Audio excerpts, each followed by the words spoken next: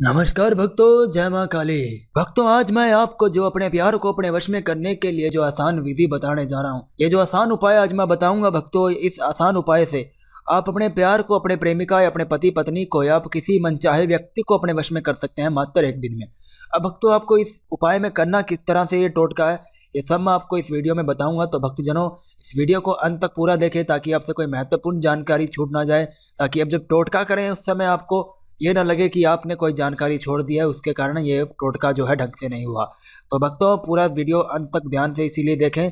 और हाँ भक्तजनों, अगर किसी को समझने में दिक्कत हो, टोटका, मंत्र, उपाय तो भक्तजनों, हमारे स्क्रीन पे दिए हमारे नंबर पे हमसे कॉल करके अधिक जानकारी प्राप्त कर सकते हैं।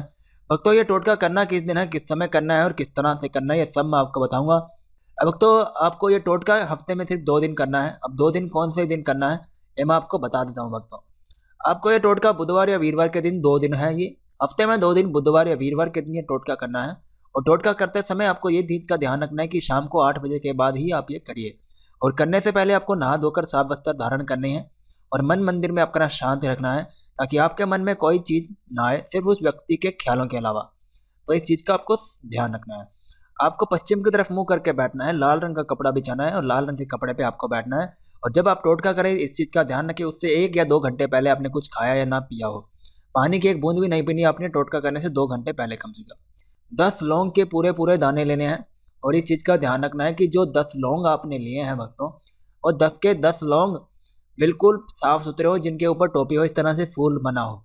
कहीं से खंडित ना हो, इस चीज़ का ध्यान रखें कि टूटा फूटा ऐसा लौंग ना हो। आपने पूरा लौंग लेना है, उसके बाद भक्तों, आपने पूरा लौंग एक लाल रंग के कपड़े में बांधना है। अब लाल रंग के कपड़े में इसलिए बांधना है ताकि भक्तों ये जो लौंग है, ये लौंग इधर उधर खिंडे ना मतलब इधर उधर बिखरे ना, ये लौंग जो है साथ में रहे दस के दस लौंग उसके बाद भक्तों, आपने क्या करना है?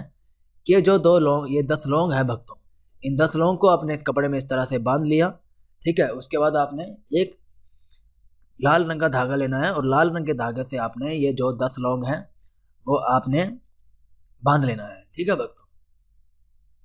इस तरह से दस लौंग आपने इस लाल रंग के कपड़े में बाँध लेंगे तो उसके बाद भक्तों, आपने क्या करना है? आपने उस व्यक्ति की एक तस्वीर सामने रखनी है।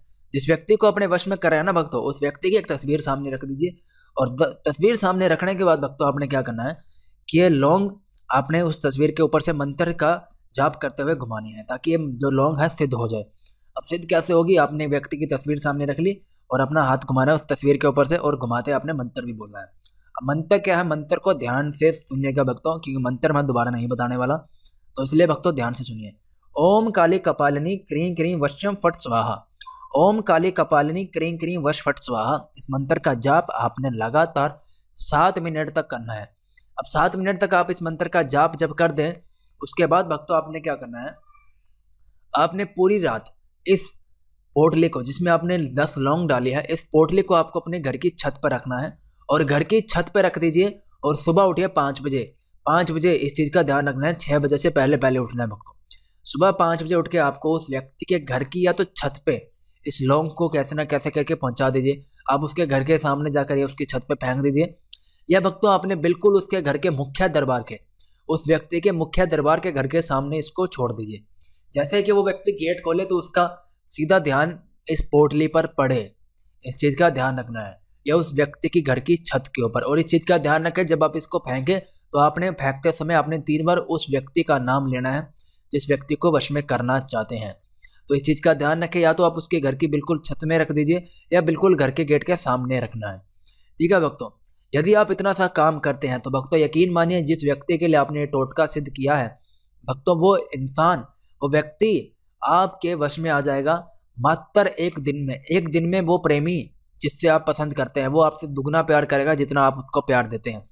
पूरी ज़िंदगी भर आपका बन के रहेगा। आप जो चाहेंगे भक्तों, बिल्कुल वैसा करेगा। आपकी हर एक बात सुनेगा। तो भक्तों, यही था आज का आसान उपाय। उम्मीद करता हूँ भक्तों, ये टोटका, ये विधि आपको अच्छे से समझ आया होगा। अगर कार्य समझ आ गया हो तो भक्तों, कार्य को सिद्ध कर लीजिए। कार्य समझने में यदि कोई दिक्कत है तो भक्तों, स्क्रीन पे दिए हमारे नंबर पर हमसे कॉल करके अधिक जानकारी प्राप्त कर सकते हैं। तो भक्तों, जय माता दी।